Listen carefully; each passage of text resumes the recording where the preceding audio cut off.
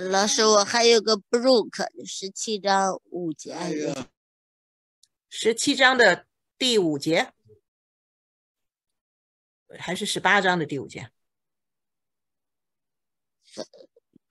十七章什么第十？我我看过这个字，我不记得在哪儿了。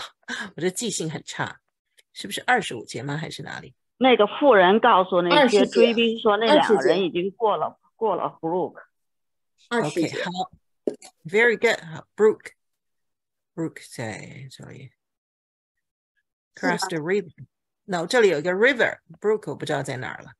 Brook，哦，二十节就这儿了，就这儿了。呃，Brooke 了，Brooke，OK，、好，OK，我们学过好多那个溪就小溪啊、大河啊，什么东东，这个很多这种东西哈。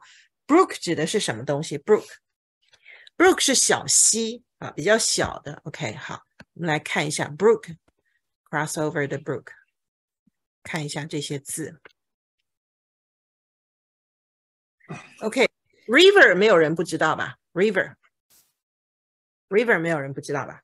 河河，OK，河，从我们大到黄河，Yellow River，OK，好，大黄河，OK，我们家附近有条小河，那个也叫河，River，OK，好，那 Brook 是什么？Brook 是什么？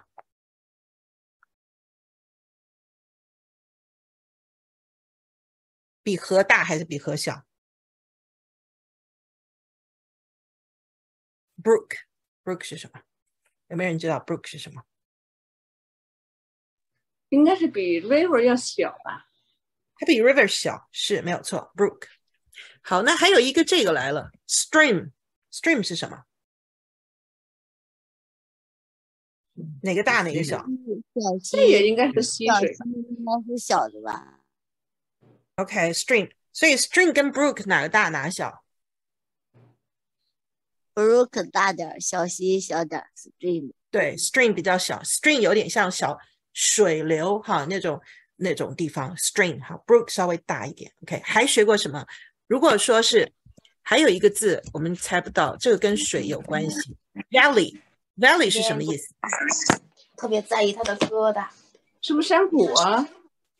山谷没有错，山谷 OK。可是这个 valley 还有一个意思，还有一个意思是指这个水流的流域。OK，我们中文叫，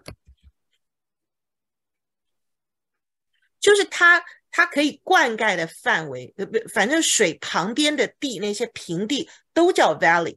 它在两山中间，事实上这个也可以很合理的哈。两山中间，你注意，凡是 valley 的地方一定有水，不太可能没有水，不太可能说两山中间一块长得很好的地，然后什么水都没有。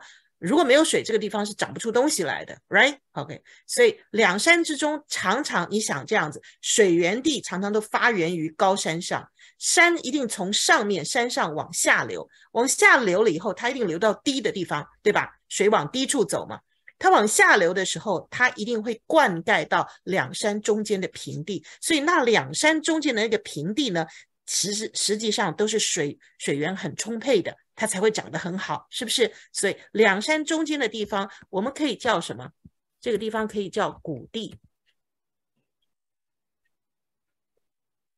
谷谷地，OK，地上的地，呃，谷地，OK，我们可以，然后 valley 还可以讲流域，这个凡是这个这个河水。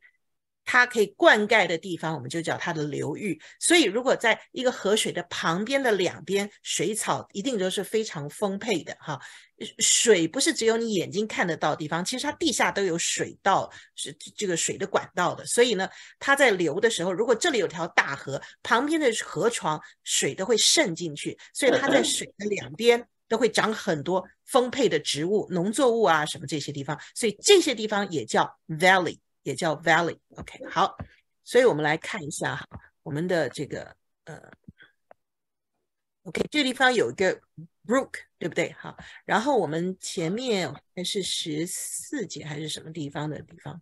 是不是十四节？看有一个地方讲，呃，有个地方讲 valley，我现在不记得在哪里了，是十三。OK，好，十三节有个 valley，OK。中文直接翻译成河里面，OK？他说 drag it down to the valley，翻成河。其实这个地方的 valley 不是指一条河，而是指那个河水的流域的地方，那个地方都是水草很丰沛的。所以呢，通常城你盖城的时候，城是在比较高的地方，你不会把城盖在低洼的地方。那如果到时候水涨起来，城里面不就淹水了吗？所以盖城的时候，一定找一个比较干的地方，高地才能够。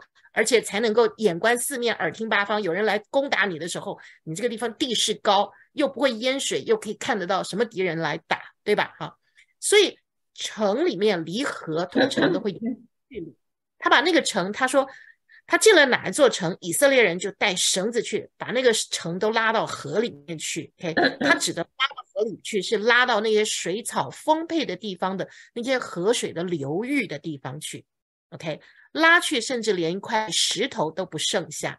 这个石头，a piece of，OK，not even a piece of it can be found，一块也找不到，就把那个城整个给拉下来，扯坏就是破坏它的意思。OK，好，所以这个地方你注意，valley，valley 指的就是河水的流域的部分。OK，长江不是只有长江